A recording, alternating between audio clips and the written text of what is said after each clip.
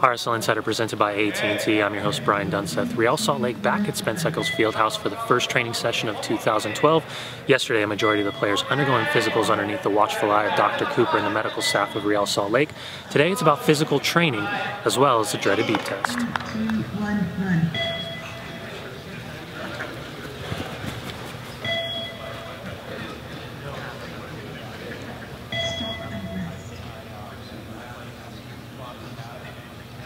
What are the expectations being placed on you guys as players coming into first day camp? Uh, well, the first day of camp is always just you know physical testing. We're out here doing fitness, and it's basically for the coaches to gauge where our fitness levels are at, to see if we followed the uh, off-season program, and basically to determine how much fitness we need to do during preseason to get ready ready for the season. My expectations are are pretty simple, really. I expected the guys to have done all the work that I asked them to do in the off season, uh, and although I haven't had a chance to look at all the the data logs from the workouts yet. Um, from the looks of things, I think guys were pretty consistent with their workouts. Uh, all the guys take heart rate monitors home that record all their sessions anyway. So I find out what they did and what they didn't do. So I, I always get really good compliance with that.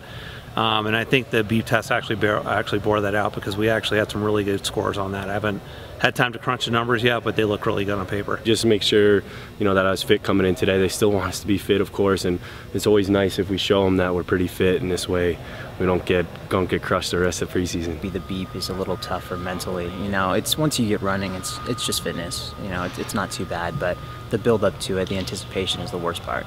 Uh, we did a 30 meter sprint and we did a 5 10 5 agility test and then we did the uh, intermittent recovery beep test you know it's definitely calculated and and there's a method to the madness and making sure that we're kind of hitting our peak fitness wise at the right time uh, going into the season uh, well, you know, it's first of all, it's good to see you know familiar faces again. Some of these guys I haven't seen all off season, so it's you know it's always welcome to see old friends. And then this year, you know, it's different from last year. We have a lot of new faces. So it's nice to meet the younger guys, and it's nice to see them come in here and you know push the older guys a little bit and uh, bring in some intensity. So first day, you're still getting to know everyone, feel each other out, and it'll be you'll be able to see more once we get on the ball tomorrow. Because last year we had basically almost the exact same group coming back, and we had a really important match, you know, a month in. Um, so it was important for us to focus on that that first team and, and getting everybody ready. Uh, whereas this year is going to be a little different. There's going to be some more guys coming in that I'm sure they need to take a look at. Some guys they already have, you know, an idea of who's probably going to make the team.